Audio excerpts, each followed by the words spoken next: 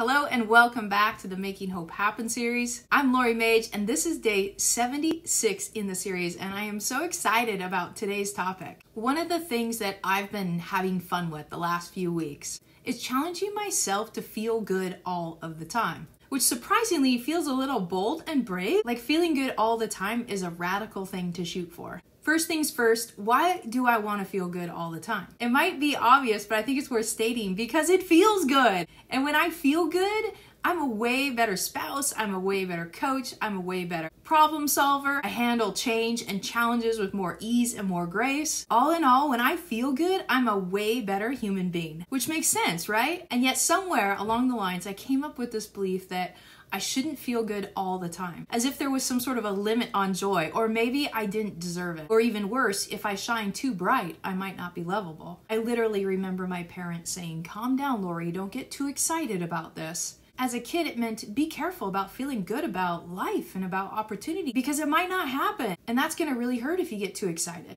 And to be fair, I totally get why my parents would say that. They loved me and they didn't want to see me get hurt. And on some level, that makes sense. And at the same time, it planted this belief in my consciousness that being too excited or too happy was wrong or dangerous. I've even been in relationships where I felt like I needed to play small or not shine so bright because I was worried that I would somehow hurt the other person. I mean, they weren't in a great spot, and so if I shine too bright, it might hurt them, and then they wouldn't want to be my friend or they wouldn't want to be my lover anymore. But that's not today's topic. Today, we're talking about the fastest and easiest way to break free from negativity.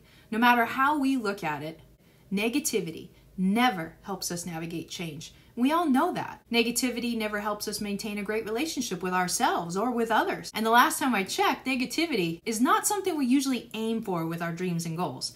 Negativity never helps, and it's never a goal. And yet, experiencing negative emotions and succumbing to negative states or negative moods for days, weeks, or even years at time, like I have, is human. It's normal. It happens. Which is why it can be super frustrating to experience the negative emotions and states when we know having a positive outlook on the situation we're in and the people around us is going to help us be more successful and enjoy the process. But when we feel like crap, it's hard. So, what do we do when we're in the middle of a poop storm of negativity? What's the fastest way to change from a negative state to a resourceful positive state. Most people tell you just think positive, look at the bright side here. But when we feel lousy and we feel like crap, how helpful is that advice? It's more infuriating than helpful.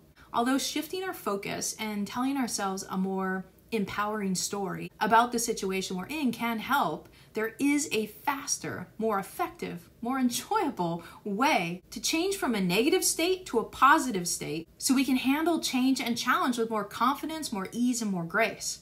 It's through our body. Let me explain. We are multidimensional beings. Our states, our moods are generated through a loop of feelings, thoughts, and actions. The way we think about things creates feelings, and our feelings determine whether or not we're going to take action. For example, let's say you wanted to get up and go for a run outside this morning. And when you got up and looked outside, you saw that it was snowing. And when you saw the snow, you thought to yourself, today's run's going to suck. It's to be so cold. I might even get hurt. I could do a double run this weekend. Now, those thoughts create feelings, maybe feelings of dread or fear or pain, which influence our actions.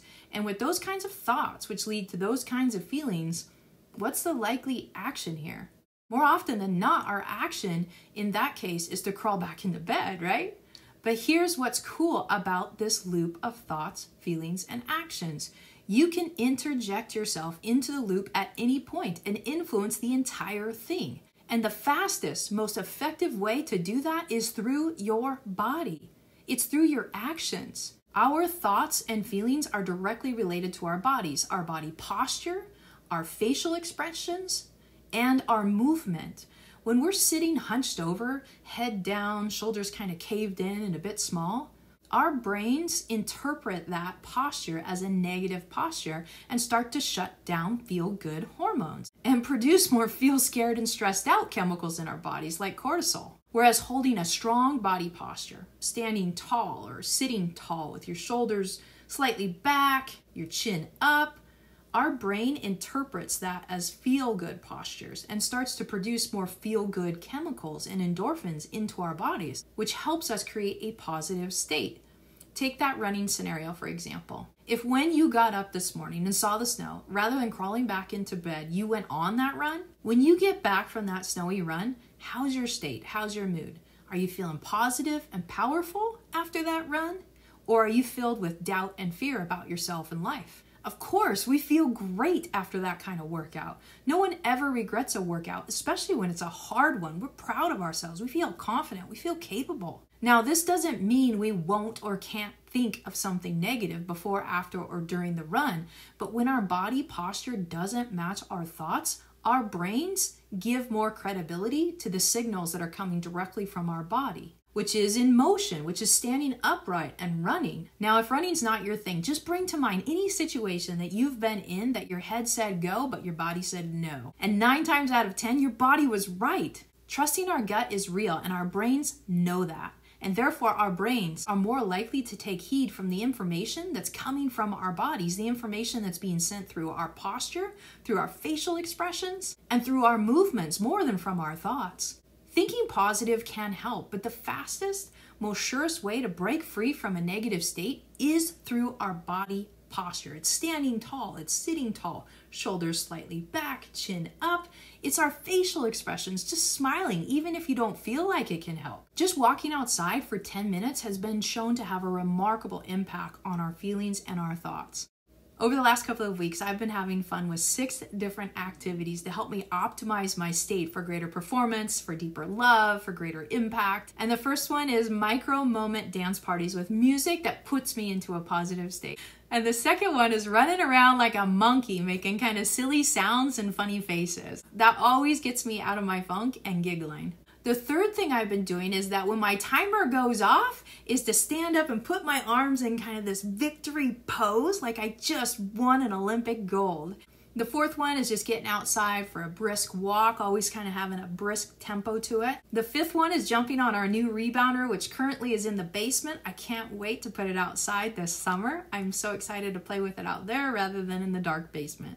And when I'm on the rebounder, I'm either got music playing or I'm repeating some sort of positive mantra in my mind to help me boost that state even more. And the sixth activity that I've been playing around with is in between my writing and coaching sessions, doing a blast of sit ups or push ups, going as fast as I can, as hard as I can, for as long as I can. I can't do another one, all the while smiling. And I have to admit, I don't always look super cool doing these things. But at this point in my life, I'd rather feel good now, be a better partner, be a better spouse, be a better coach, be a better creator, and be a better human being than worry about being cool or looking silly. Well, there you go. Any way you look at it, being in a negative state doesn't help us navigate change or accomplish our dreams and goals. And also, common humanity, we're human, we're going to experience negative states and moods. It happens. And when they do, shifting our focus, thinking positively, telling ourselves an empowering story, those things can all help us shift our state from a negative to a positive one. But it's not the fastest way to break free from negativity optimizing our body postures, our facial expressions, and moving throughout the day, that is the fastest way. And that's it for day 76. If you got value today, give me a thumbs up. And if it's not too much to ask, if you could do me a favor, if you know somebody who would benefit from this particular video or this series, please share it with them. I'm on a mission to help build a happier, healthier, more loving world, one person at a time. And in the right hands, it's my hope that these videos will help that mission in some small way, shape, or form. Thanks for watching today. Thanks for sharing. And thanks for doing the hard work of being and becoming your best self. When you shine brighter, the world shines brighter. Have an awesome night. I'll see you tomorrow.